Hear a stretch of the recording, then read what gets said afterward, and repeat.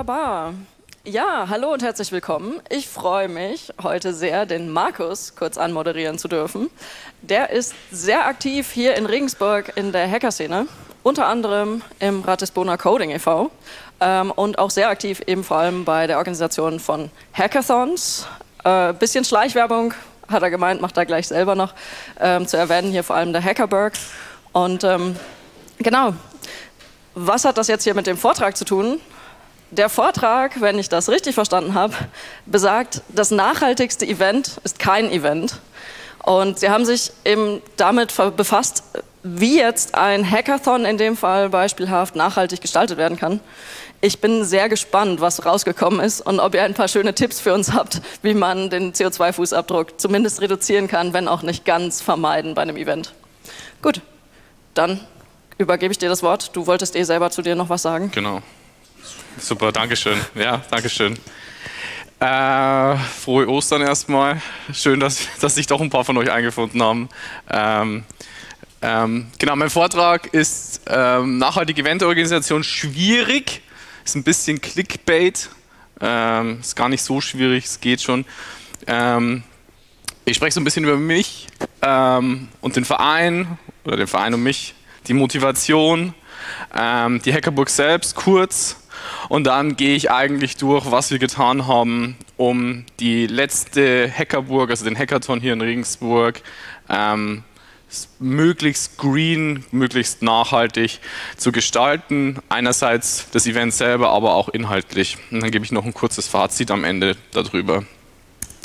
Genau, ähm, Markus, mittlerweile 30 seit letztem Jahr, äh, Medieninformatik im Bachelor Master hier an der Uni studiert, äh, bin ab den, der erste Hackathon war genau hier, die erste Hackerburg war in den OTH-Gebäuden, also wir haben hier den Eröff nee, wir haben drüben den Eröffnungstalk gehabt und aber hier immer die Workshop-Räume. Ähm, 2016 erstmal als Teilnehmer dabei gewesen, 2017 ähm, in der Orga dabei, 2018 sind wir dann an die Techbase rübergezogen, das ist hier so ein ähm, Startup-Center gegenüber.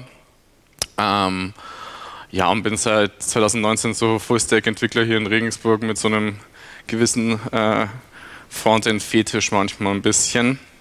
Ähm, man sieht es an der Font. Ähm, genau, kurz Schleichwerbung. Wenn ich jetzt hier immer zwischen wir und du wechsle, dann ähm, liegt es an meiner Vortrageinkompetenz. Ähm, der, der Rat des Brunner Coding e.V. hat sich aus der Hackerburg rausgegründet. Wir machen mittlerweile nicht nur die Hackerburg, sondern auch eine Vortragsreihe, immer wieder in Regensburg wiederholend, mit IT-spezifischen Themen. Ähm, versuchen einfach so Events in Regensburg zu, zu, organisieren. Wir haben schon einen Kinderhackathon organisiert. Wir sind so in der MINT-Förderung auch aktiv hier in Regensburg. Ähm, genau. Und das hat sich alles aus diesem Hackathon einfach raus ähm, ergeben. Kurz zur Finanzierung, wir machen dieses Event, wir sammeln Sponsoringgelder ein, um das Event zu finanzieren, da bleibt immer ein bisschen Geld übrig und daraus versuchen wir halt Vereinsaktivitäten und, ähm, und äh, weitere Events zu organisieren. Ganz grob dazu. Genau.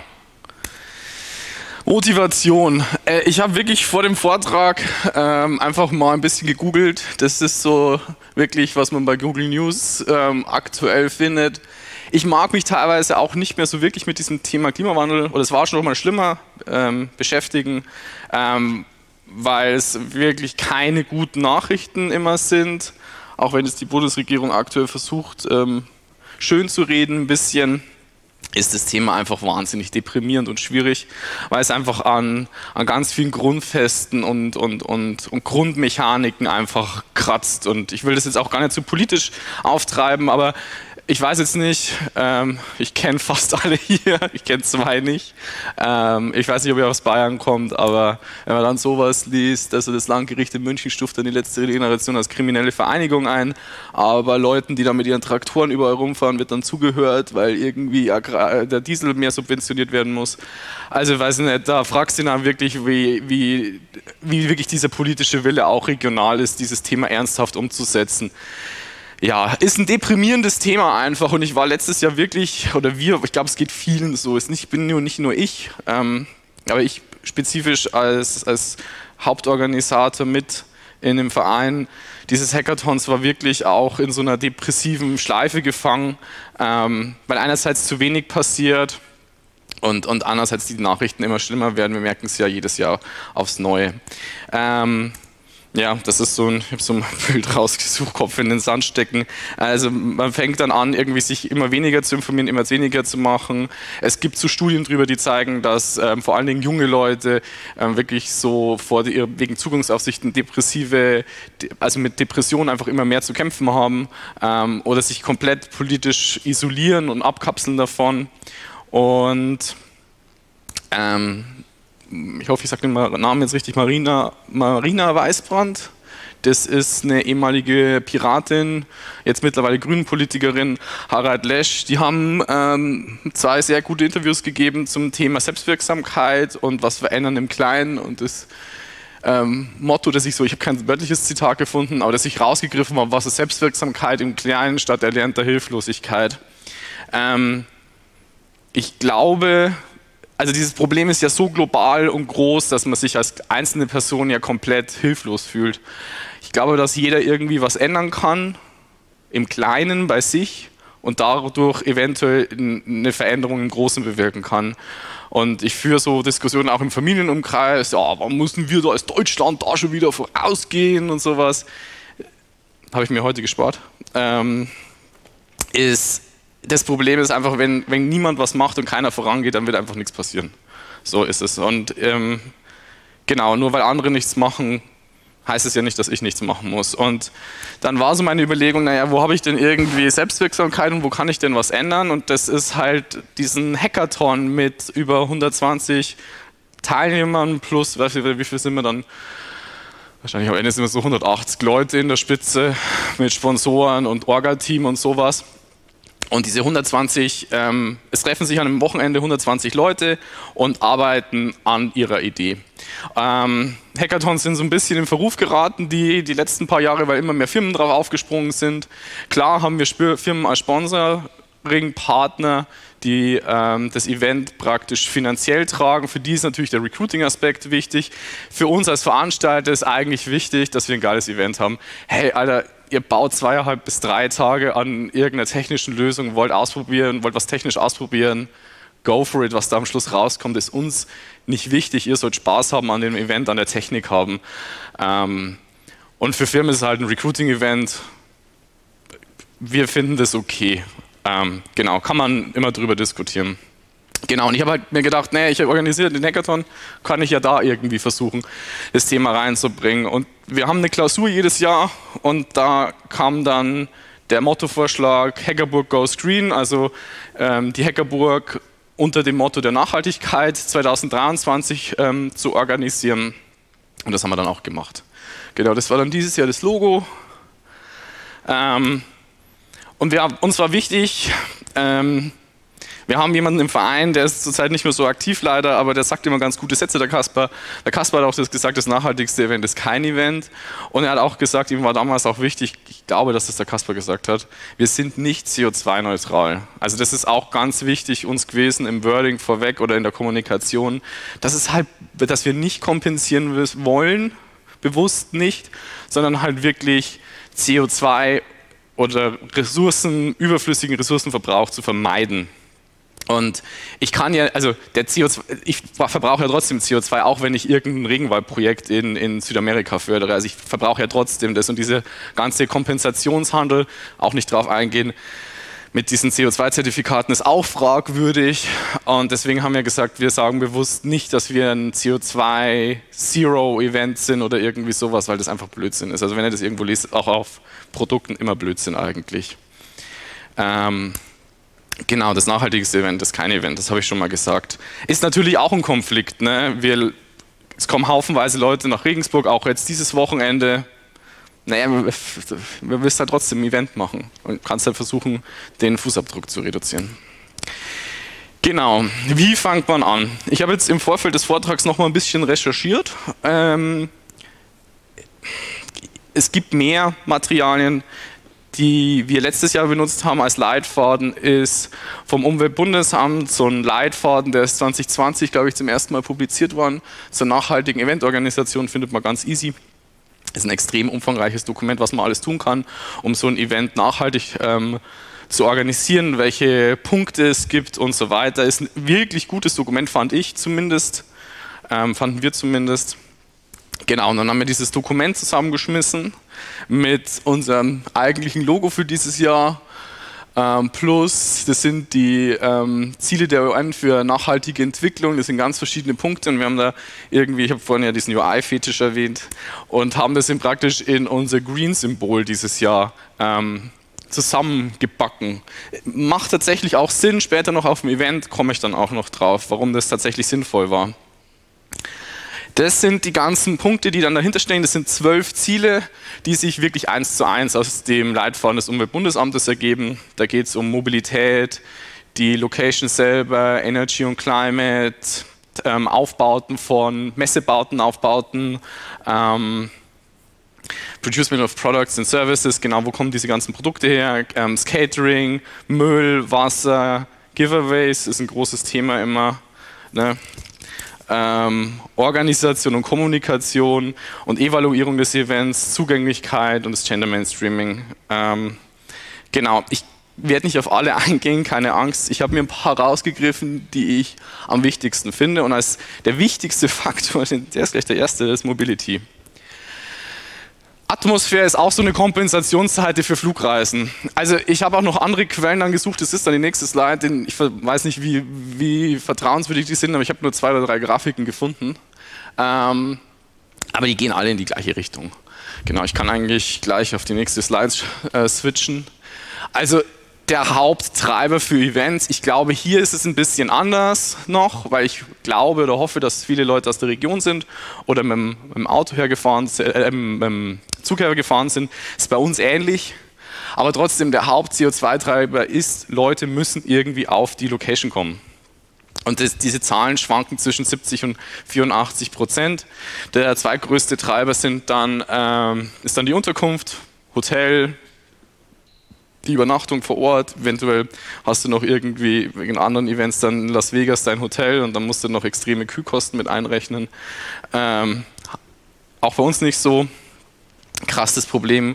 Catering ist dann geringerer Post mit zwischen 3 und 10 Prozent, Müllentsorgung und was so noch so kommt. Also ihr seht, Mobilität ist das, Haupt, der Haupt, das Hauptproblem an der ganzen Geschichte. In das andere werde ich auch darauf eingehen, aber ist nicht so problematisch. Genau. Ähm, wir haben die letzten Jahre immer versucht, schon, auch wir haben damit geworben auch, ähm, zu sagen, hey, wir bringen, also ihr müsst euch vorstellen, Regensburg, das ist Ostbayern. Das ist schon, das ist schon ziemlich am Arsch der Heide eigentlich. Ähm, in Anführungszeichen ein bisschen. Und wir haben immer damit geworben, auch bei Sponsoren und bei der Stadt, hey, wir bringen internationale Teilnehmer nach Regensburg. Und das waren am Schluss immer 20 Hanseln vielleicht, 15 bis 20 Hanseln. Und das stimmte auch. Also wir haben einen internationalen Kooperationspartner gehabt, die MLH, der hat das immer beworben. Und da sind auch Leute teilweise geflogen, natürlich geflogen, auch aus Russland beispielsweise, sind auf das Event gekommen. Und wir haben halt definitiv dieses Jahr gesagt, ne, wir reduzieren das. Also wir wollen eigentlich nicht mehr so viel internationales Publikum haben. Turns out, wir hatten diesen internationalen Werbepartner nicht mehr, sind auch nicht mehr so viele gekommen. Oder haben sich nicht so viele beworben. Wir hatten dann vier, ich glaube, Jungs aus der Slowakei, ich weiß nicht, ob die mit dem Auto gefahren sind. Die sind, glaube ich, mit dem Auto gefahren. Ja, die sind zusammen mit dem Auto gefahren, das waren vier Freunde. Genau, und das waren wirklich die einzigen, glaube ich, wirklich international waren. Ich glaube, noch jemand noch aus, aus, aus Florenz war, glaube ich, noch jemand da. Aber sonst war der Fokus schon ziemlich auf Deutschland, sieht man auch auf der Karte gleich. Und der primäre Fokus auf Regensburg, also wir hatten 81 von 120 Leuten, waren aus, aus Regensburg wir, haben auch, äh, wir machen auch das immer, weil es ja ein studentisches Event ist, also diese 120 Entwickler sind Großteil Studenten und wir machen eine Reisekostenrückerstattung und haben deshalb gesagt, ja, dieses Jahr halt nur für Bahnreise. Also wenn du uns dein Bahnticket gibst, zahlen wir das, eine, eine Rechnung äh, für, für, für, fürs Tanken zahlen wir halt nicht einfach. Und wir haben halt im Vorfeld die Leute versucht ähm, anzuregen, wer Fahrgemeinschaften bilden will, kann Fahrgemeinschaften bilden. Also wir haben praktisch in Discord reingestellt, wer kommt aus welcher Stadt, wie viele Leute kommen aus welcher Stadt. Hey, bildet Fahrgemeinschaften, wenn ihr fahren wollt. Haben wir das getrackt, wie gut das funktioniert? Nein. Ich, jeder, der schon mal ein Event organisiert hat, weiß, wie viel Aufwand das ist und wie viele Stellschrauben es gibt und wie viele unterschiedliche Sachen es zu tun gibt. Da, läuft, da, da läufst du wenig den Leuten nach. Du kannst natürlich eigentlich bei der Registrierung fragen, ähm, aber ja, also wissen wir nicht, wie viele jetzt tatsächlich mit dem Auto, mit der Bahn oder mit dem Flugzeug gekommen sind. Ich hoffe mit dem Flugzeug keiner. Genau, das ist so ein bisschen die Verteilung. Also man sieht schon diesen regionalen Fokus, ist jetzt keine Heatmap, aber der Fokus ist schon diese Achse bis nach Passau runter, Ingolstadt, München, Regensburg, genau. Und diese restlichen, sagen wir mal, 30 bis 20 Leute, 20 bis 30 Leute verteilen sich so außenrum. Genau, in Österreich hat man auch dabei. Genau. Genau, also Mobilität ist der Haupttreiber. Auch ich schätze, bei uns ist es auch der Haupttreiber de, des Fußabdrucks. Genau, Venue. Ähm, zu dem Thema, wir fragen am Anfang ab, ob man jemanden einen Schlafplatz braucht und haben daraufhin dieses Jahr 35 Feldbetten in der Location selber zur Verfügung gestellt. Das funktioniert auf einem Hackathon. Ähm, das ist schon sehr kuschelig in dem Raum. Der ist ein Viertel von dem Raum vielleicht hier so groß und 35 Feldbetten da unterzukriegen ist schon, ja, haben schon auch ein paar Teilnehmer geschluckt dieses Jahr, müssen wir vielleicht dieses Jahr, äh, letztes Jahr geschluckt, müssen wir dieses Jahr vielleicht mal entzerren. Ähm, aber das passt. Die Leute sind eigentlich relativ dankbar. Die coden bis um 2, 3 Uhr in der Nacht, fahren dann um, schlafen ein paar Stunden ähm, und müssen nicht irgendwie extern nochmal ins Hotel oder wir hatten immer Jugendherbergen die Jahre davor. Also das funktioniert da. Deswegen dieser ganze Hotelaspekt und CO2-Fußabdrucktreiber ist auch bei uns weggefallen, weil die Leute einfach vor Ort schlafen konnten. Energy und Climate, das ist ähm, mit so das Interess also ist ein interessanter Punkt hm. und auch ein bisschen schwieriger, ähm, weil ich zu wenig Ahnung habe und weil Kommunikation schwierig ist. Ähm, Erzähle ich gleich. Die Location ist die TechBase in Regensburg, das Gebäude gebaut, glaube ich, irgendwann zwischen 2010 und 2015 so um den Dreh. Also es ist ein relativ neues Gebäude, Hightech, ne? es ist ein Startup-Center. Ähm, da muss natürlich alles fancy rein verbaut werden. So. Das Gebäude ist, ist ein gutes Gebäude, das ist, würde ich jetzt also als Laie sagen, modern, hat ein paar Features, ähm, wird, hat Solaranlagen auf dem Dach, hat Regenwasserfiltrationsanlagen auf dem Dach, könnt ihr alles mal googeln, alles hochinteressant, hat ein Blockheizkraftwerk mit Gas und ähm, ähm, einen Eisspeicher. Ähm, der so diese Konzepte von latenter Wärme, praktisch dieses, wenn Wasser gefriert, also vom flüssigen zum eisförmigen Zustand übergeht, wird da nochmal Energie frei und das Ding gefriert halt und du kannst es halt zur Unterstützung der, der der Klimaanlage im Sommer nutzen, diesen Eisblock. Das ist, glaube ich, der größte Eisspeicher Bayerns. Ich weiß nicht, ob es mittlerweile einen größeren gibt, steht auf jeden Fall noch auf der Webseite, habe ich jetzt nachgeschaut. Das heißt, die haben super viele Faktoren, auch wie das Blockheizkraftwerk ähm, und diesen Eisspeicher, die intelligent zusammenspielen. Wie ist einerseits die Auslastung im Gebäude, einerseits wie ist die, ähm, wie ist die Temperatur draußen ähm, und so weiter. Und nach dem steuert sich dieses System automatisch intelligent. Ich habe nachgeschaut, das Wetter am 25.05. und wir erinnern uns da auch ziemlich dran, das war schon ziemlich warm. Im Juni letztes Jahres, das war doch die Zeit, wo es dann so richtig losgegangen ist mit diesem krassen, diesen krassen Sommertemperaturen. Und wir hatten da schon im Ende Mai schon eigentlich diese Temperaturen. Und ich weiß auch, dass wir am Ende bei der letzten, äh, bei dem letzten, beim Abschluss vom Event richtig krass die Klimaanlage haben laufen lassen, um das runterzukühlen. Und eine Woche vorher waren es ein bisschen so ungefähr 8 Grad weniger. Ähm, warum das wichtig ist, sieht man bei den Zahlen, dem Verbrauch. Ich hoffe, man kann es einigermaßen lesen. Der Verbrauch ist in dieser KW 21, wo der Hackerbook stattgefunden hat, war deutlich höher. Man sieht es Donnerstag 1325 Kilowattstunden mehr, Freitag 894 Kilowattstunden mehr, am Samstag 648 Kilowattstunden mehr. Was man dazu sagen muss, das Event geht am Donnerstag um 3 Uhr nachmittags los, dann komplett durch, Freitag komplett durch und am Samstag endet es um, am Abend. Warum ist jetzt der Donnerstag so hoch?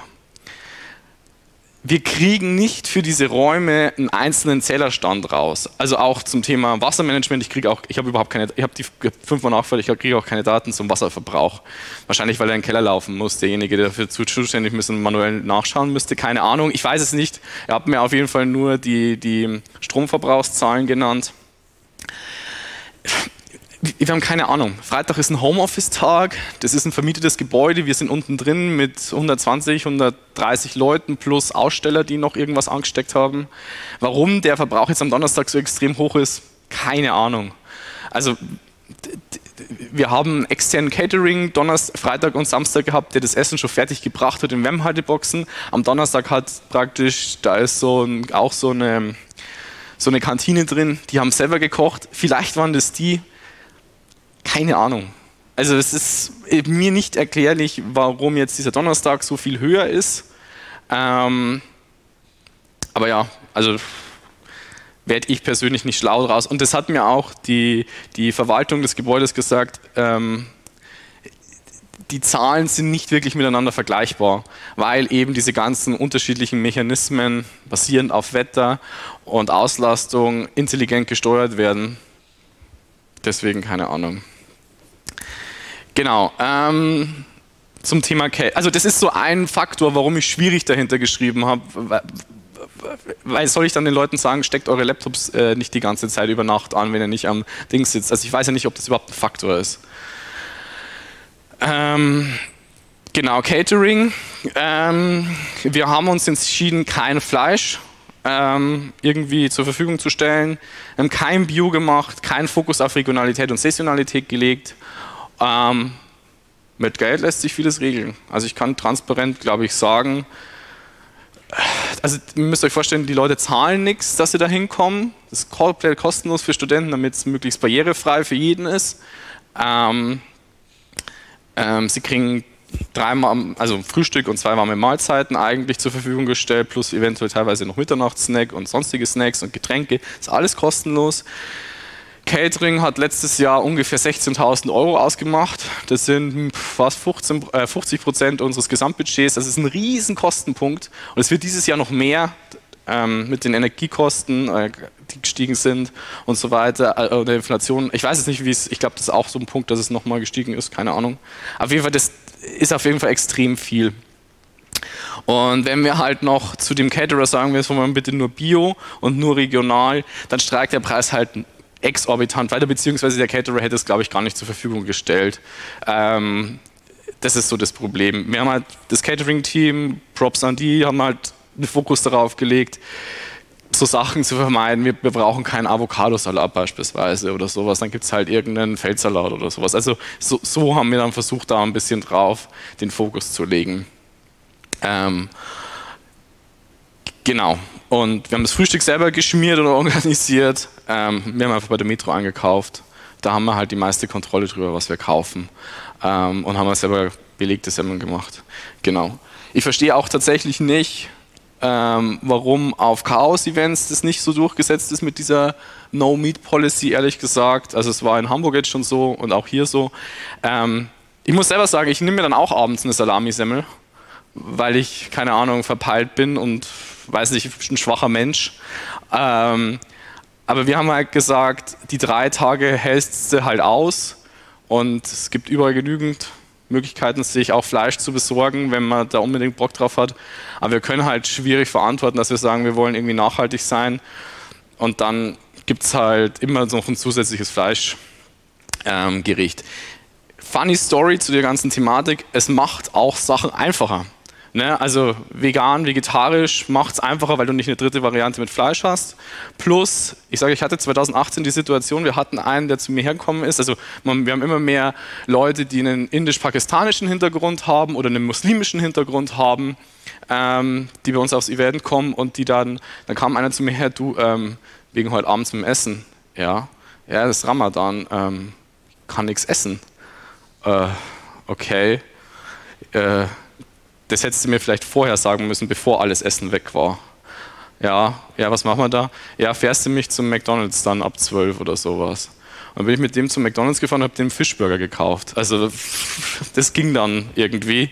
Aber es macht, hat nicht so viel Stress gemacht, aber es vereinfacht, die Geschichte verdeutlicht so ein bisschen, es macht Sachen einfacher. Also es macht so, alle kriegen was, alle werden glücklich. Gut, man kann immer noch ähm, Allergien im Vorfeld abfragen, haben wir auch gemacht, aber es, macht es einfacher auch, einfach für, die, für, die, für den Event-Organizer kein Fleisch anzubieten. Plus Kühlketten, ja, ich führe es jetzt nicht weiter aus. Genau, Guests und Giveaways. Ähm, das nachhaltigste Giveaway ist kein Giveaway, aber bei Hackathons geht es schon so ein bisschen um Looten und Leveln. Ähm, es hält sich bei uns noch in Grenzen, finde ich. Gibt da andere Events, wo das dann, äh, wo das exzessiver betrieben wird, wo Leute nur hingehen und dann, um ihr Zeug zu kriegen und dann äh, wieder zu gehen. Das ist bei uns Gott sei Dank nicht der Fall. Ähm, wir haben aber schon darauf hingewiesen, dass wir die Sponsoren auf Nachhaltigkeit der Giveaways hinweisen kauft nicht den x-ten Plastikstift, kauft nicht irgendwie den zehnten Multitool Flaschenöffner oder sowas. Den hat jeder daheim, kauft irgendwas, was ein bisschen sinnvoller ist. Ähm, also sie haben dann tatsächlich versucht, gut, gewisse Firmen schaffen es immer nicht, aber ähm, diese Brotzeitdosen, diese Müslibecher, also ich benutze die einfach selber auch mittlerweile. Ich hoffe, dass die Teilnehmer die auch ähm, benutzen, die haben halt einen Mehrwert und werden halt dann einfach wiederverwendet ähm, im Alltag. Und das finde ich dann schon mehr sinnvoll, ähm, ob, obwohl es halt, wenn dieser Pack ähm, leer wäre, das eigentlich am besten wäre. Genau, Kommunikation und Evaluierung. Ähm, wir haben halt diese ganzen Punkte, die ich jetzt auch schon genannt habe, die so ein bisschen kritisch oder schwierig sind, versucht transparent zu kommunizieren vor und auf dem Event und auch versucht, in einer sehr komprimierten Version, das, was ich jetzt euch heute über, diese, ähm, über dieses Konzept dahinter erzähle, ähm, den Teilnehmern irgendwie mitzugeben.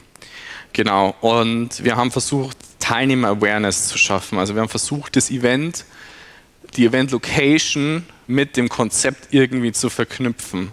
Dass die Leute, also das ist dieses das ist das, das, Überthema eigentlich über dem Ganzen. Ich kann nicht sagen, wir machen ein grünes Event, dann machen wir irgendwie drei grüne Projekte, aber sonst ist nichts grün auf dem Event, sondern ich muss das halt in meiner gesamten Eventstruktur eigentlich durchziehen, alle Punkte bedenken und wir wissen diese Punkte, aber die Teilnehmer wissen das nicht und haben halt deswegen das versucht, miteinander irgendwie greifbar zu verknüpfen und da kommt eigentlich das Logo ins Spiel.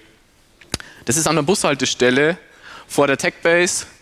Ähm, und wir haben auf der ganzen Event-Location, was nicht, 20, 30 solche kleinen Zettelchen verteilt, ähm, wo bei einem Mülleimer, bei einem Wasserhahn, bei der Klimaanlage und so weiter, bei Steckdosen teilweise auch, ähm, beim, beim Catering vorne, zwei Stück glaube ich, waren da auch immer da, diese, dieses Konzept praktisch ähm, visuell, äh, also physisch dargestellt war und den Leuten erklärt wurde, wo sie jetzt gerade sind, was das denn mit dem Gesamtkonzept des Events zu tun hat. Weiß ich, ob das irgendjemand was gebracht hat? Nein, wird es jemanden mal gesehen haben und mal gelesen haben und vielleicht verstanden haben? Ja, glaube ich schon. Ähm, genau, das war unser Ansatz, praktisch dieses Konzept irgendwie in die Realität zu bringen oder physisch zu manifestieren irgendwie. Genau. Übermotiviert, wie ich manchmal äh, bin, habe ich gesagt, mach mal KPIs. Also, KPIs, auch schwieriges Thema. Keiner war begeistert. Ich dachte, das ist voll cool, ähm, das Event irgendwie mit äh, gewissen ähm, Werten irgendwie dingfest zu machen und dann zu sagen, hey, wir tracken die irgendwie jedes Jahr und dann schauen wir mal, wie, wie wir uns verbessern über die Jahre. Ich habe schon gesagt, verlässliche Daten aus dem Energieverbrauch rauszukriegen, ist schwierig. Diese Vergleichbarkeit zwischen den Wochen funktioniert ja zum Beispiel schon nicht, wenn irgendwie ein größeres Event auch eine Woche vorher zum Beispiel in den Räumlichkeiten ist oder irgendwas anderes. Dann funktioniert es ja schon wieder nicht, ähm, weil wir es nicht unabhängig davon tracken können.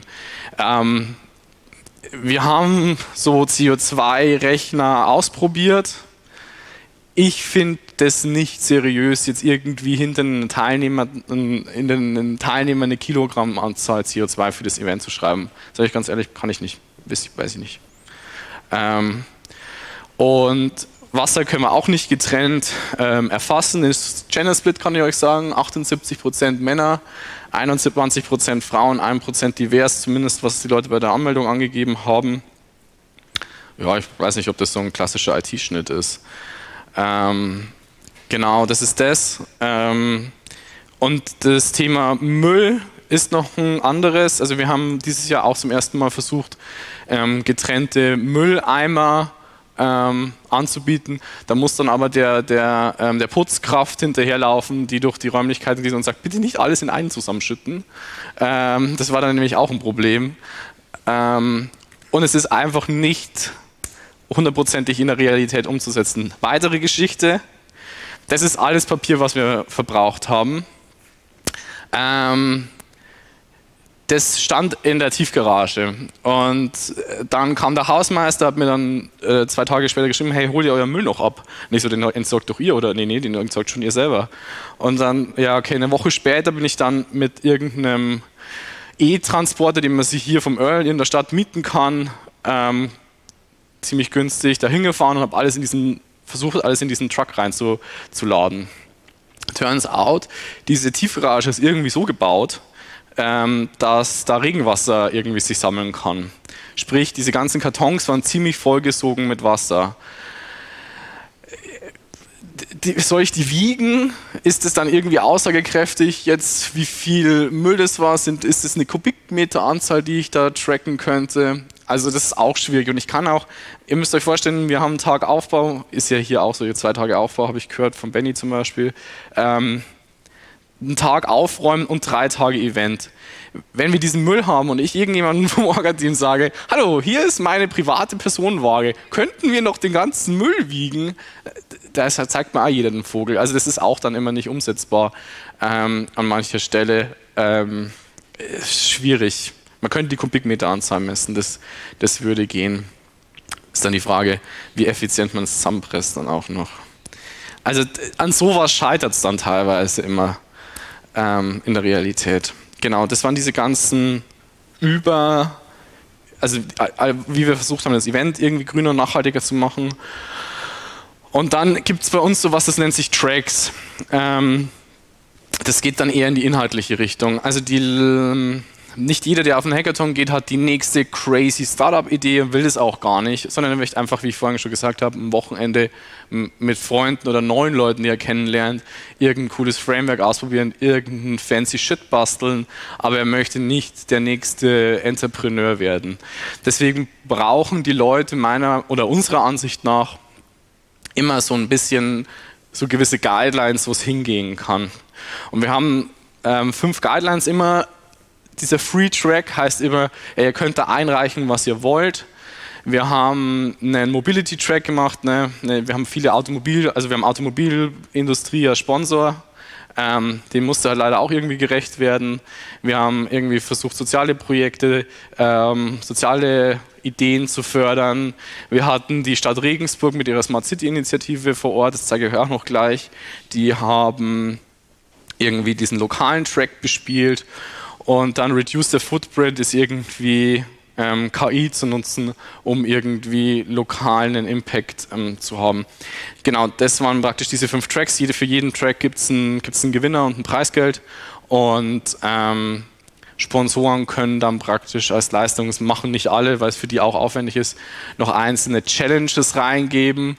Ähm, wir sagen da immer bewusst, macht keine Challenge, die bei euch in der Firma ein Problem ist, die, die dann die Leute lösen sollen. Das wird nicht funktionieren, sondern sie versuchen immer so ein einzelnes Thema, Daten, Ressourcen reinzugeben und die Leute machen dann da was damit. Genau, das ist so praktisch, wie wir versucht haben, die Projekte, die praktisch auf dem Hackathon entstehen, ähm, irgendwie in eine gewisse Richtung zu, leichten, äh, zu leiten. Wenn man DevPost Hackerburg 2023 googelt, findet man auch alle Projekte. Das habe ich mir jetzt gespart. Genau, gibt immer so 25 Projekte, die dann am Ende eingereicht werden. Genau. Ähm, letzter Punkt, vorletzter Punkt, Workshops. Ähm, wir hatten einen coolen Sponsor, den haben wir dieses Jahr wieder. Das ist die, ist die Stadtverwaltung in Regensburg. Die haben durch Bundesgelder ähm, mindestens eine Stabsstelle, glaube ich, finanziert mittlerweile, wenn nicht sogar mehr. Ähm, ich glaube eine und dann ähm, das andere ist, glaube ich, normaler öffentlicher Dienst. Ähm, die, es ist das Smart City Projekt der Stadt Regensburg. Die haben ganz viel angesammelt von Bürgern, wo Probleme sind, wo die Stadt smarter gemacht werden kann, was es auch immer heißt, oder nachhaltiger gemacht werden kann, was auch das immer heißt im lokalen Kontext und versuchen das umzusetzen und die waren halt dieses Jahr ähm, auch Sponsor. Ähm, auch eine Selbstwirksamkeit im, im Kleinen, ähm, das heißt praktisch vor Ort irgendwas ändern, macht halt irgendwie meiner Meinung nach auch äh, Sinn und dann halt so einen Partner wie die Stadt Regensburg zu haben, macht halt auch total Sinn. Ähm, und normalerweise haben wir immer, also wenn du Hauptsponsor bist, also wir haben so Packages, du kannst kleiner Sponsor sein, mittlerer Sponsor sein, Hauptsponsor sein, dann kriegst du unterschiedliche Rechte und kannst dich unterschiedlich irgendwie platzieren auf dem Event. Und normalerweise machen halt immer Firmen, die Hauptsponsor sind, irgendeinen technischen Workshop keine Ahnung, wie heißt das immer, Raspberry Pi Kubernetes Cluster aufsetzen, ist so ein klassischer Workshop, was man da immer so kennt oder irgendwie in irgendein mobiles Framework irgendwie einführen oder so. Äh, es macht bei der Stadt jetzt nicht so viel Sinn mit Airnext. Wir dachten, wir bieten denen eher eine Bühne, dass sich die platzieren können und wir haben einen Vortrag bekommen, das ist im, im Forum der TechBase im Innenhof. Da haben wir einen Vortrag gehört zur nachhaltigen Stadtentwicklung, also überhaupt mal die Stadt stellt vor, was sie dann überhaupt machen da ähm, der war auch ziemlich voll. Das ist dann bei der Diskussion ein bisschen weniger geworden. Es gab dann im Anschluss eine, eine Fishbowl-Diskussion zwischen dem Leiter der Energieagentur hier in Regensburg und dem, äh, der Stadt Regensburg ganz links und einem Unternehmer, einem grünen Unternehmer in, in Regensburg. Ähm, und zwei Plätze waren frei, das heißt, das Publikum konnte praktisch auf die Bühne gehen und mitdiskutieren. Und das hat extrem gut funktioniert. Die Zeit war tatsächlich fast zu knapp einfach. Ähm, aber es wurde extrem viel über nachhaltige Stadtentwicklung und ähm, über Fragen an, an, an Unternehmen, an den Unternehmer oder an, an, an die Energieagentur in Regensburg gestellt. Und das war eigentlich ganz cool. Und das ist auch das, was wir eigentlich erreichen wollten oder wo man, wo ich glaube oder wo wir glauben, dass wir den meisten Input, äh, Impact haben, dass wir den Leuten irgendwie was mitgeben. Ähm, und das haben auch hinterher etliche geschrieben, dass sie einfach dieses, also wir haben einen Feedbackbogen hinterher immer, den, den Leute ausfüllen können und da kam wirklich oft zurück, dass sie, dass sie es in diesem Talk einfach gut fanden. Und ähm, dass halt nicht dieser, dass dieses, dass dieses Format Hackathon nur so eine Recruiting, Startup, Blödsinns-Bubble ist, sondern dass man aus diesem Format einfach was Cooles machen kann und den Leuten irgendwas wirklich mitgeben kann, ähm, dass sie vielleicht Sachen schon mal gehört haben, Zusammenhänge verstehen. Genau, das war so, ähm, das war so die Idee, die wir dann äh, versucht haben, mit diesen Tracks und Workshops umzusetzen. Fazit, ja, keine Ahnung. Also wir machen das auf jeden Fall. Ähm, also es findet ja wieder dieses Jahr die Hackerburg wieder statt. Ähm, Ende Mai, hackerburg.de äh, nochmal so viel Schleichwerbung nehmen, wir werden viele Punkte übernehmen. Ähm, manche nicht, manche schon. Also zum Beispiel das Catering werden wir, werden wir wieder so machen. Ähm, wir werden die, ähm, die Teilnehmer wieder so einladen. Ähm, werden wir das Tracking von diesen KPIs machen? Ja. Werden wir ähm, Plakate bestellen, die Blauer Engel zertifiziert sind beispielsweise? Nein, ist irre teuer und ist auch diskutabel, ob so recyceltes Papier wirklich so viel besser ist. Wahrscheinlich keine Plakate wäre am besten. Genau, wir werden einfach versuchen, dies, das, was wir letztes Jahr so mitgenommen haben, als, als so Best Practices irgendwie wieder umzusetzen. Genau, das war so unser Fazit. Ich, wir glauben, das kam letztes Jahr gut an. Viele haben das verstanden, was wir da versucht haben zu machen, manche nicht. Ähm, aber genau. Ähm, Nochmal danke an den Verein, ähm, die das alles irgendwie organisieren, für die ich jetzt hier spreche. Und dann, glaube ich, können wir noch ein paar Fragen stellen. Danke für eure Aufmerksamkeit.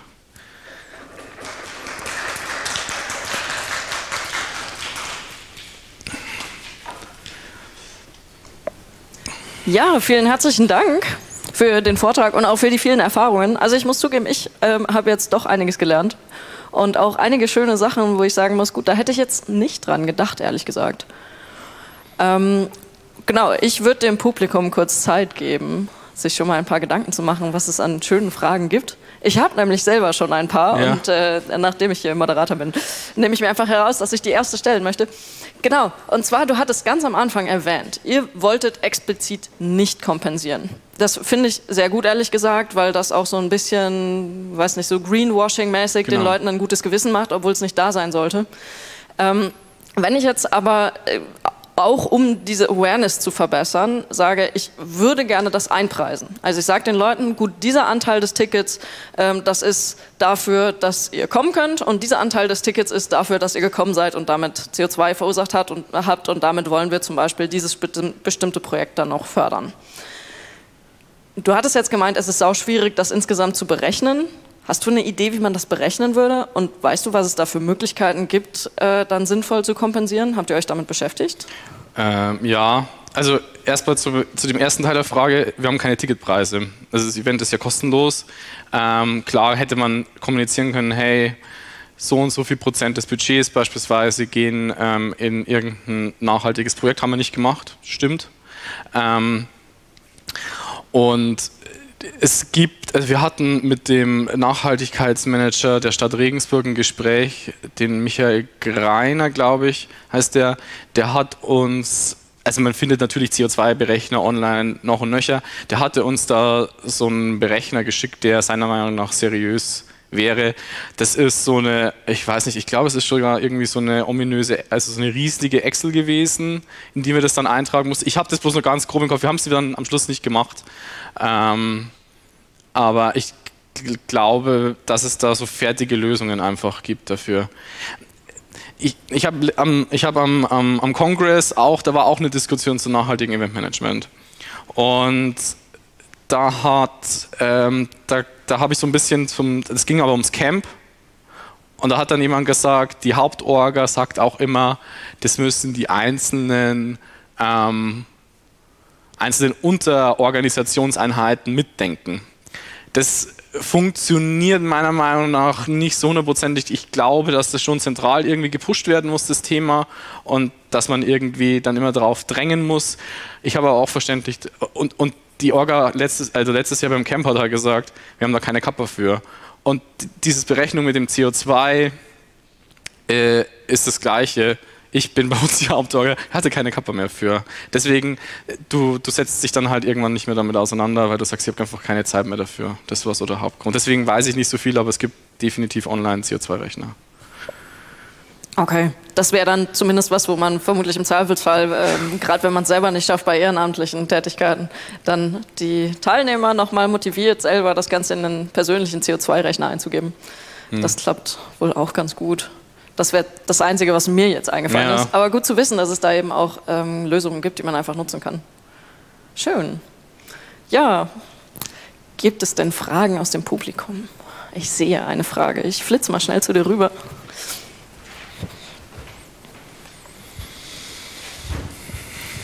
Hallo, äh, du hast bei dem Catering-Thema kurz äh, angesprochen, dass ihr euch entschieden habt, kein Bio äh, zu haben. Kannst Ja. du das nochmal ein bisschen genauer ausführen, was du damit meinst und was dann kein Bio für dich heißt? Also wir haben, wir haben diejenige da, die äh, Catering organisiert hat, also ich könnte es auch noch weiterleiten, wenn ich was Falsches sage. Ähm, du stellst eine Catering-Anfrage und wir hatten eigentlich auch eine limitierte Anzahl an Caterer, die über, also, nee, muss ich anders erklären. Die, diese Techbase hat eine Speicherbar, das ist, diese, die, das ist diese Küche und dieser Barbereich. Und da dürfen eigentlich nur zwei Caterer rein, die da irgendwie eigentlich erlaubt sind. Das ist einerseits ähm, die, die wir dann final genommen haben, und eine Metzgerei, die auch Party-Service macht. Also schied die zweite Möglichkeit schon leider ein bisschen aus. Und dann haben wir natürlich gesagt, naja, schauen wir mal vom Preis, ob das geht. Ähm, und ich glaube, dass die einfach auch kein Bio-Angebot hatte. Ähm, man kann es natürlich immer fragen, ähm, aber wenn die das nicht irgendwie in ihrem Standardsortiment drin hat, dann, dann wird die das nicht anbieten. Und keine Ahnung, ich weiß auch nicht immer, ob Bio dann wirklich nachhaltiger ist. ist bei Fleisch ist es auch wirklich fragwürdig, glaube ich, ob es dann wirklich besser ist. Ähm, kann, also ich kann besser sein. Wir haben dann einfach äh, keinen Fokus mehr drauf gelegt, weil der Caterer, glaube ich, einfach nicht das Angebot hatte dazu. Ja, willst du was dazu sagen? Also bei dem Punkt ähm, Bio, wir hatten tatsächlich schon überlegt, ob wir einen anderen Caterer nehmen, anstatt diesen Vertragscaterer, weil man denkt sich, ja, fuck up, also warum muss ich jetzt den nehmen? So, das, äh, ähm, und haben dann ein Angebot eingeholt von, einer, von der Susi, die macht die Bio, genau, die, die, die macht Bio Catering, aber die war scheiße teuer. Also war einfach zu teuer. Und dann müssen wir, bräuchten wir mehr Sponsoren, dann hast du mehr Firmen auf dem Event, das kommt nicht so gut an. Oder verlangst du Geld, also es, ja. Also das ist, das ist einfach das, das praktische Pro Problem. Also wir haben dieses, wir haben keinen Fokus auf Regionalität und Bio gelegt. Klar hätten wir das gerne, aber es bieten halt nicht viele Caterer einfach an und wenn, dann sind sie teuer. Sehr teuer. Ja, das ist tatsächlich ein großes Problem, wenn man nicht äh, das Ganze einfach selber kochen kann. Hey, wir haben schon Kaffee selber gekocht, das war schon Drama. Äh, das glaube ich, das glaube ich. Ich habe es ein bisschen mitgekriegt, ich habe drüben in der Küche schon geholfen. Ja, ja, wir hatten auch sowas wie das ewige Frühstück nur in der Früh beschränkt. Also auch nochmal Respekt an die ganzen Engel, die das machen. Wir haben das letztes, dieses Jahr selber im eigenen Live erfahren, wie das ist. Das ist einfach, das ist echt Aufwand einfach, das alles selber zu machen. Schweißt die Leute zusammen, genau, aber ja. Weitere Fragen, ja.